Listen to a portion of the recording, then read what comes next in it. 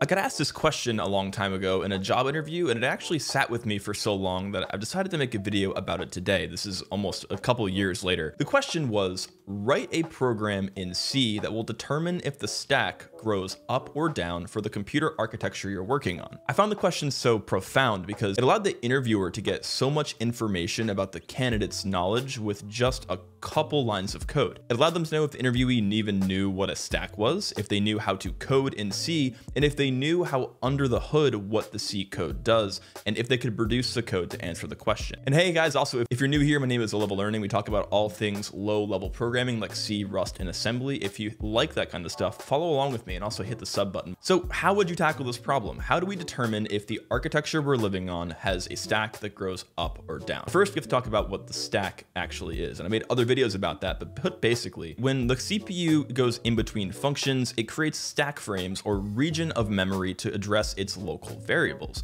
Now, on most computer architectures, the stack actually grows negatively in the negative direction. It becomes more negative as it gets bigger, but this may not be the case for all computer architectures. Some of them may actually add to the stack pointer as the stack gets bigger. So we have to write a function to figure out what direction is our stack growing. We'll start here with this C code, and what this code does is it calls the up or down function. If up or down returns true, then it grows up. If up or down returns false, then it grows down. I had to kind of sneak in my cheeky ternary operator in there. Know how much we all love those very much. The function will return up if positive, down if negative. I think we should probably define also what up means. So up means that the stack, as it grows, the address of the stack frame is increasing. And as the stack grows down, it is becoming more negative. So as it gets bigger, the top of it becomes more negative. This is actually how Intel behaves by default. The stack grows negatively towards the heap. Obviously, it has 2 to the power of 64 bytes generally to work with, so it's not a big issue. Um, but this is how it's happening under the hood. But again, some other architectures may behave this way, so we want to figure out how to check for that. Now, the way that you could probably check for it pretty simply, the one that a lot of people go to by default, and I went to by default in the interview, is you on the stack, you declare two variables, right? So here we have int x and int y. They have undefined values. I guess we could say zero to get rid of all the security people in the comments. Um, and what will happen here is it'll allocate room first on the top of the stack for X, and then under it, just in our notional picture, picture your stack of plates, the address Y. So then we could say, if X is greater than Y, and again, we're not talking the values of X, we're talking the addresses of X. If X is greater than Y, then what we can do is just return true, because that means that X is on top, X is more negative, and true is a lowercase t here. Otherwise, we're just going to return false. Right, so what'll happen is if x is growing up, it is getting more positive, but if x is growing down, it's becoming more negative. So let's check this out and have to also include standard bool because C by default does not know what the word true means. Okay, so this actually worked because the stack on the architecture that I'm on, the Intel assembly architecture, does grow down. This code does have actually a few problems. First of all, we are not labeling these as volatile variables, so there may be a case where the compiler does some optimizations here. So we do want to also throw the volatile keyword into these variables to make sure that the assembler does not try to optimize them in any fancy ways. Now, can you think of another assumption we're making with this problem by doing it this way? So again, in our notional picture of the stack here, I'll make another comment block to kind of describe this, we are assuming that when the assembler creates the stack, it creates room for X on our notional top. And then underneath that, we create room uh, beneath it for our notional Y. And then we're just trying to see which one is more negative and returning that value. But the assumption we're making here is that the assembler is putting it in that order. It may not. It may, for some other optimization reason, just put X below. Maybe it's doing a, you know, a FIFO versus a, a first in last out when it's making the assembly, the, the stack allocations.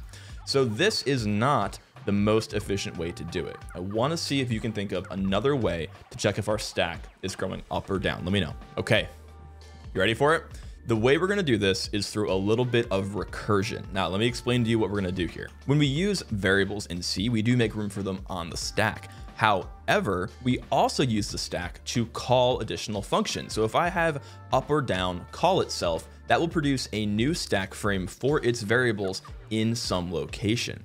So what we can actually do is pass around a variable in between up or down to itself and then compare the address of those two variables. Because we do it that way, we'll have knowledge about the address of one stack frame versus the other, and we can return whether one is greater than the other. So let me walk through how that works right now. Okay, you ready? The solution for this is really cool. So we have made up or down a recursive function. Now I know if recursion scares you, don't worry about it. It's not that bad. All you have to think about is a base case and a non-base case, the recursive case. So what we'll do is we'll start with our recursive case where we call up or down and give it a null pointer, meaning I have no information about the stack at this point.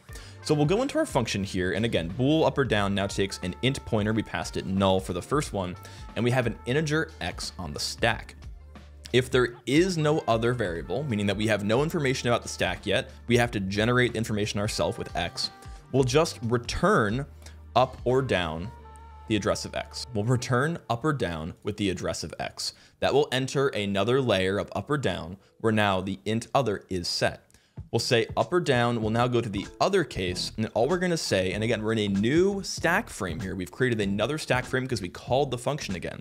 And we say return if this variable, the the one that's above it in our notional directionless stack frame, return if the address of that variable is greater than the other. That will come back to the base case, it'll return here, and that'll come out our up or down case. By using simple recursion, we can solve this problem really cleanly and have a way that can't get optimized out because we're doing recursive functions. So let's go ahead and compile this and see what trouble we get into. And we find that the stack frame, as it's supposed to, still grows down. So what do you think? This one little question and a couple lines of C made us reveal if we know how stacks work, how C works, how calling conventions work, and a lot of really interesting things underneath the hood as it relates to computer architecture and low level programming. So if you enjoyed this video, do me a favor, hit that subscribe button. And if you enjoy these kinds of problems, go check out my website, pwnbounty.com, description below. And if you like to solve these kinds of challenges, I'll be putting up challenges like this. And if you solve it and submit a write-up, you might even get a job. We'll see how it goes. All right, guys, thanks for watching. Take care. See you next time.